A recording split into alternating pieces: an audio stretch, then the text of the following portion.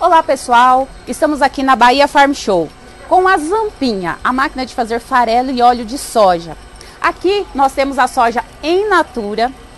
Aqui ela vai extrair o óleo a frio e aqui o farelo já vai sair pronto para ser utilizado. Um farelo com mais energia, com alta proteína e digestibilidade.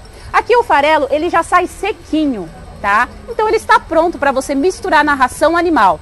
Venha até a Zamp para conhecer o nosso processo.